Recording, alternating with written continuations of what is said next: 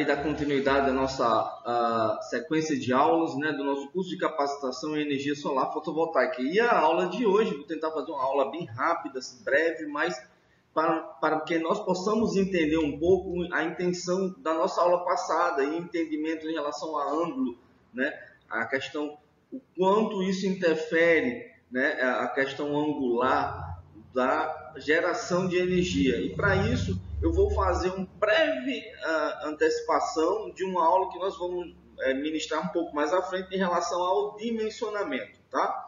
E aqui a gente vai entender um pouco da análise solarimétrica, ou seja, entender o índice solarimétrico de determinada região. Muitas pessoas me perguntam, e muitas pessoas perguntam, professor, como eu posso identificar? Nós sabemos hoje que no mercado existem N programas que fazem esse tipo de análise e alguns deles, infelizmente, são muito caros. E eu vou trazer aqui um, uma dica, né, um macete, vamos pensar dessa forma, do qual você pode fazer isso em casa, sem necessidade de um programa especializado nesta área, somente com alguns passo a passo, do quais eu vou mostrar a partir de agora. Então vamos lá, vamos dar continuidade à nossa aula. Então, pessoal, nessa aula a gente vai descobrir como identificar o índice solarimétrico da localidade de estudo do meu projeto. Imaginamos que eu quero montar um sistema de energia fotovoltaica na minha residência, na, na, minha casa ou de um amigo meu, de um parente meu. Como é que eu posso iniciar esse processo de entender o quanto de energia naquela localidade eu consigo gerar? Então, para isso a gente precisa iniciar entendendo como descobrir o índice solarimétrico, ou seja, a capacidade de radiação existente naquela localidade, tá bom? E para isso, para analisar essa, essa parte, a gente vai fazer agora um passo a passo. Então, qual é esse passo a passo? É simples. Então, assim, é possível a gente conhecer o índice solarimétrico do local do nosso projeto sem necessariamente precisar ir também até aquela localidade. Então, normalmente quando a gente faz projeto de usinas solares, a gente para uma questão de, do investidor entender o porquê a gente quantifica o quanto ali gera de energia e o quanto isso pode rentabilizar, nós às vezes colocamos estações que ficam ali num período de 3, 4, 5 anos, captando né, alguns índices que a gente consegue medianar ele futuramente, ou seja, a gente consegue chegar no mediano, numa média ponderada de quanto aquela localidade a gente precisa gerar. E existem alguns outros jeitos um pouco mais rápidos, aproveitando as estações já existentes de algumas, é, é, de algumas instituições, como a gente já viu, como o INPE, a, a, o Instituto de Meteorologia. Né? Então, a gente vai aproveitar esses pontos ou os índices já existentes, de algumas análises já existentes, liberadas aí pelas, por, esse, por esses órgãos. Então, o que é, qual o primeiro passo que a gente deve fazer? A gente pode pegar esse índice solarimétrico é, diretamente no site do Google Maps. Tá? Vai lá no google.com.br barra maps e aí a gente vai abrir o que? Um mapa. Então, vou lá na minha localidade, na região ou na cidade, no município que eu quero né, é, descobrir o índice solarimétrico. Vou lá, muito simples. Pego clico com o botão direito do mouse, tá? E vai aparecer o que há aqui. Eu clico no que há aqui e no canto superior da tela, isso vai aparecer umas coordenadas gráficas. Então, veja só, eu vou lá na minha localidade, tá? Esse aqui eu peguei uma, uma localidade esporádica. Então, eu vim aqui, cliquei na localidade Jardim Glória, lá em São Paulo. Quando eu cliquei com o meu botão direito aqui, eu acabei descobrindo, vai me dar a opção, o que há aqui, e aí vai me, abracer, me aparecer essa janela aqui em cima, Jardim Glória, e aqui embaixo vai me dar duas localidades, a latitude e a longitude. Aí eu vou buscar essa latitude e longitude, vou guardar ela.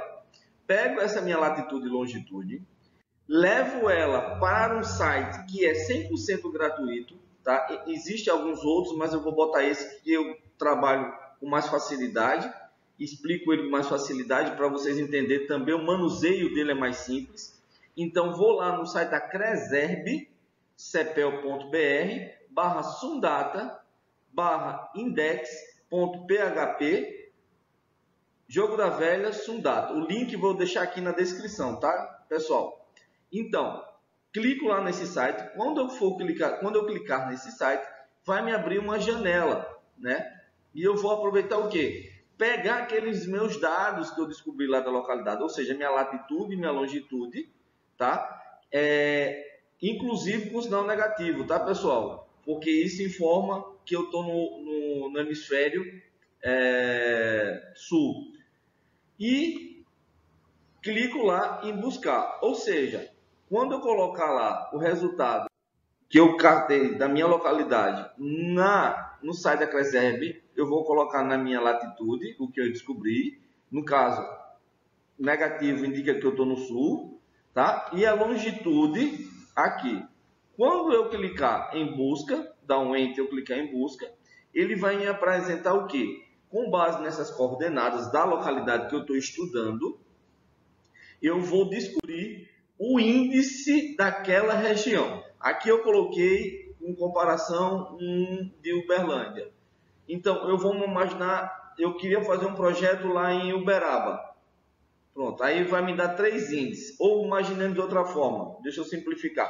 Imaginemos que eu coloquei lá uh, Uberlândia. Eu queria fazer um projeto lá em Uberlândia. E aí eu clico e na, na, na, localidade que eu quero, faço uma busca e não me aparece Uberlândia. Me aparece três cidades circunvizinhas. Monte Alegre, Uberaba e Catalão. Ah, Raoni, e agora? O que é que eu faço? Não tem em Uberlândia.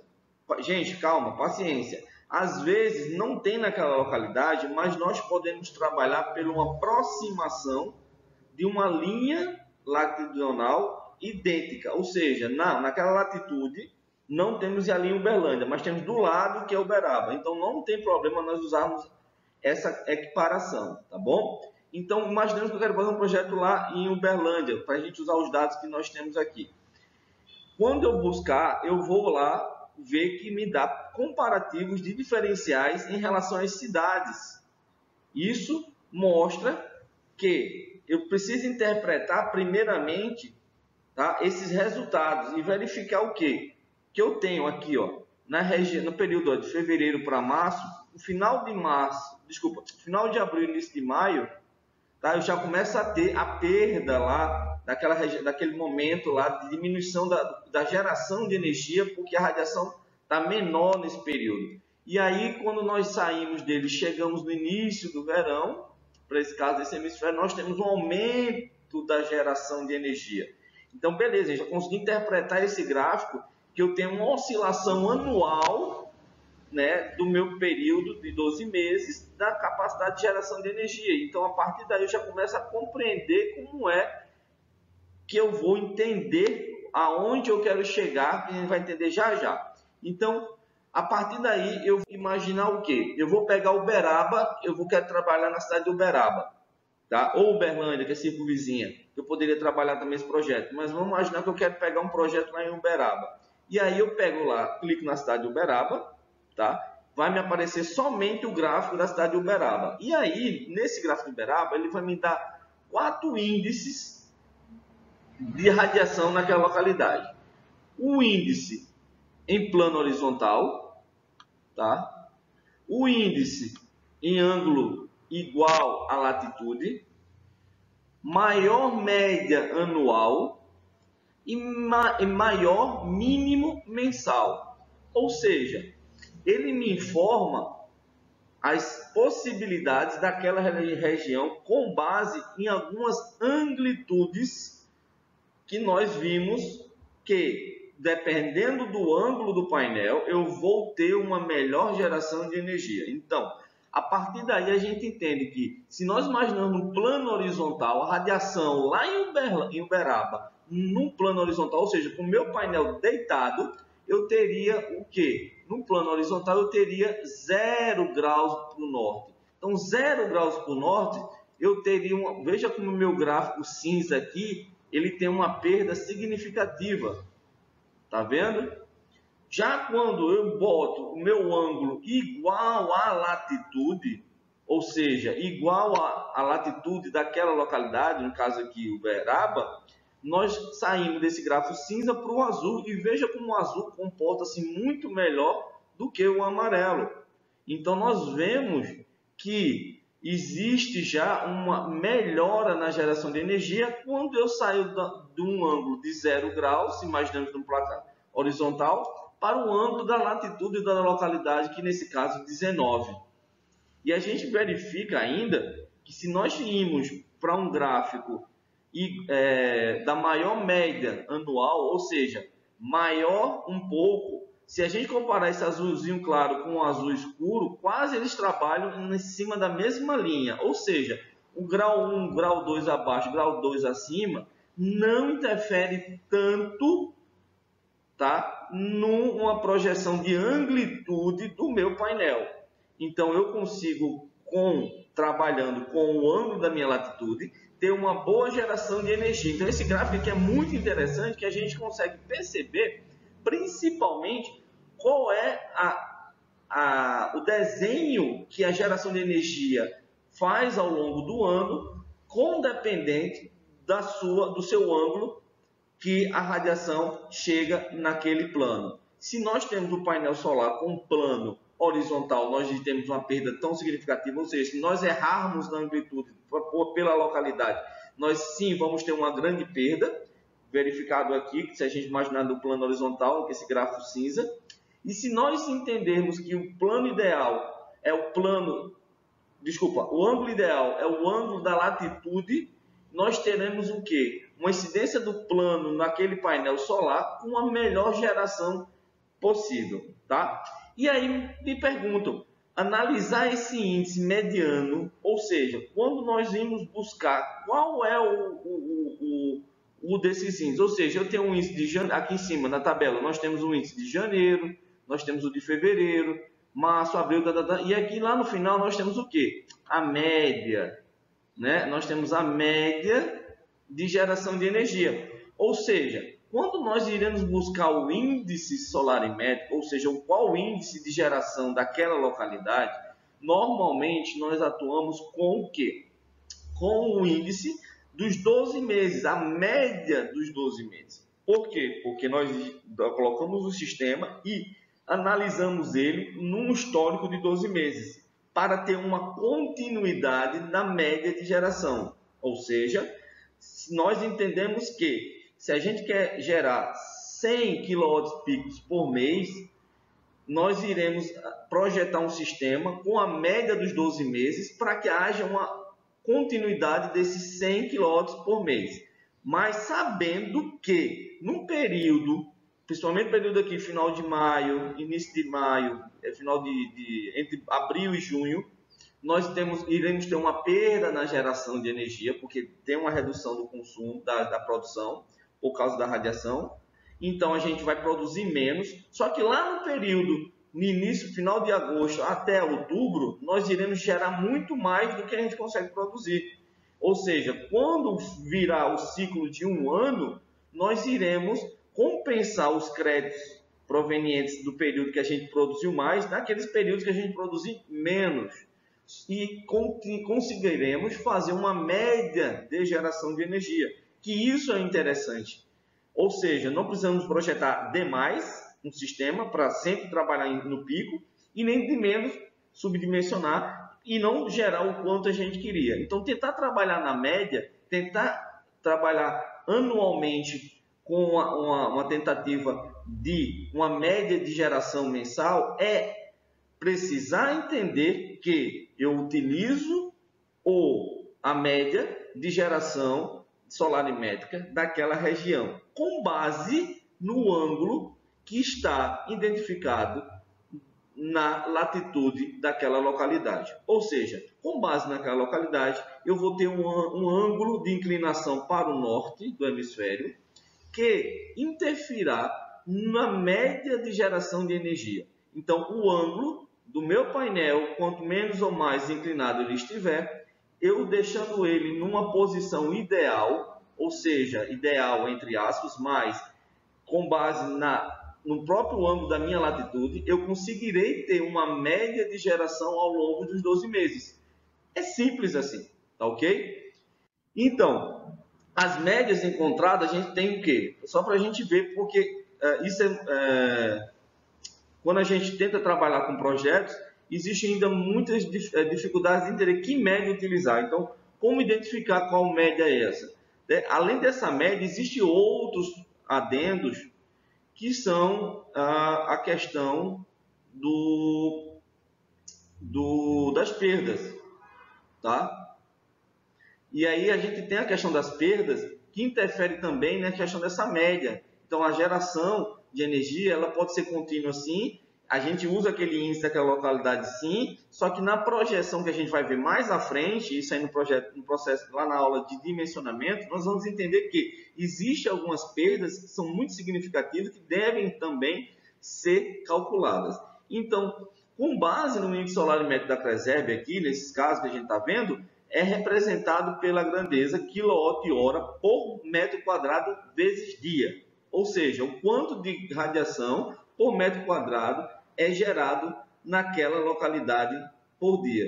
Ou seja, será a quantidade de watts que incide em uma área, um metro quadrado, durante o dia. Esse resultado representa uma estimativa média anual do índice solarimétrico local. E que medidas encontra, encontramos lá? Nós vimos que a mínima era de 4,15 kWh tá? Nós vimos que a máxima era de 6,03 kWh Só que, como eu falei, a gente viu também que a média era de 5,46 kWh.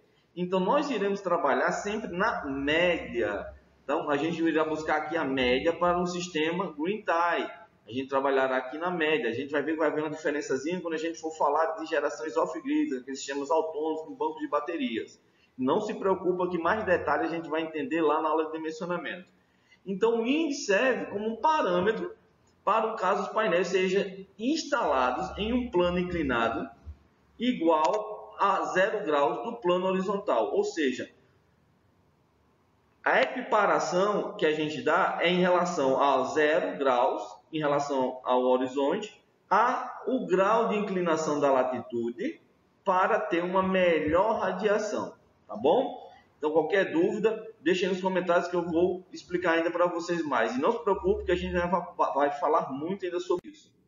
Então, como eu mostrei anteriormente, nós tivemos aqui, como eu, como eu mostrei anteriormente, nós tivemos aqui a mínima daquela região no plano horizontal está aqui em 4.14, ou seja, imagina que tivesse um plano horizontal mínimo em torno de 4.19, desculpa, nós teríamos a máxima no plano horizontal de 6.3. Só que plano horizontal não é interessante, a gente viu que a gente tem que entender a mínima e a máxima e a média no plano da, do ângulo igual à latitude, ou seja, do, deixar o painel na, com o ângulo da mesma, nossa, da mesma latitude. Então nós vamos para baixo, então nós vamos aqui para baixo e vamos ver aqui que no ângulo igual da minha latitude, nós temos aí numa média, tá? 4.62.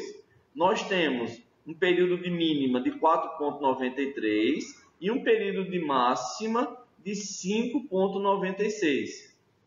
Tá? Esse período de mínima e de máxima, isso vai interferir também quando eu for dimensionar um sistema off-grid para alguns pontos. Tá? Tipo, um sistema de bombeamento que eu não quero botar banco de baterias. Então, eu vou ter que dimensionar ele como? Se isso aqui é por média dia, eu tenho que dimensionar ele com mínimo. Ou seja, eu tenho que subdimensionar meus painéis para que eu não tenha perda na geração para bombear um sistema, sem uso de um sistema de armazenamento. Quando eu, quando eu vou para um sistema de armazenamento, então eu tenho que projetar isso pensando que eu vou gerar energia durante o dia, irei armazenar e utilizar em períodos que eu não tenho mais energia. Então eu tenho que dimensionar de uma forma a entender até que ponto eu preciso trabalhar as 6 horas fechada na máxima. Isso aí a gente vai entender um pouco mais detalhado lá no, na nossa aula de dimensionamento na área de, de sistemas off-grid, ok? Então, interpretar os resultados são primordiais para que nós tenhamos, de fato, um projeto bem dimensionado. E aí, Qual das opções escolher? Todo mundo me pergunta. Pessoal, como eu já tinha falado, a opção ideal que a gente precisa A opção ideal que a gente precisa, basicamente, pode ser uma das duas. Pode, para projetos Green Tie, é, a escolha do índice solarimétrico, que apresenta maior média anual, tá? com um painel inclinado, com um grau de inclinação voltado à face norte geográfica do planeta, ou seja, com um grau de inclinação do, da latitude. E para os projetos off-grid, a escolha é a linha com a, a, maior mínimo mensal, ou seja, com a menor média para sistemas, principalmente que não tenham sistema de, de, de, armazenamento de energia, com banco de baterias. Então, nesse caso, não trabalharíamos com a média anual, mas sim com o valor de pior mês desta linha, ou seja, sairia a, é, seria atribuído como índice métrico para dimensionamento de projetos para o plano inclinado, pensando da mesma forma, usando painéis tá? É, inclinado para o norte geográfico e não norte magnético da bússola. Tá? Isso aí é uma coisa bem importante de, de frisar para vocês. Então, pessoal, entender a análise final é que, para um projeto, nesse caso de Uberaba, nós, para um sistema Green Tie, nós trabalhamos numa média de 5,46 kWh metro quadrado dia. Já para um projeto off-grid, nós poderíamos trabalhar aí com um sistema de 4,19 kWh dia, isso para um plano horizontal, pensando na pior perspectiva, ou seja, sendo muito categórico. Então, essas análises, para vocês verem o quanto interfere a inclinação de um painel. Com a inclinação, eu posso chegar a produzir, nesse caso aqui, 4,19 kWh, exemplo, que eu estou com a inclinação quase a zero, deitado o painel, e podendo chegar a uma inclinação de 5,46 quando eu vou para a inclinação correta. Então, entender a inclinação de um painel é entender que eu posso dimensionar meu sistema de forma correta sem errar nessas partes. Beleza? Então, pessoal, espero que vocês tenham gostado. Na próxima aula nós vamos falar sobre sistemas fotovoltaicos e agora a gente vai começar a compreender a composição desses sistemas desde sistemas off, sistemas green tie, ou seja, sistemas conectados na rede e sistemas autônomos. Iremos entender componente a componente. Tá ok? Qualquer dúvida você já sabe, né, galera? Deixa aí nos comentários e nós iremos responder com todo carinho. Pessoal, fica com Deus. Até a próxima. Aguardo vocês na nossa próxima aula. Valeu. Tchau, tchau.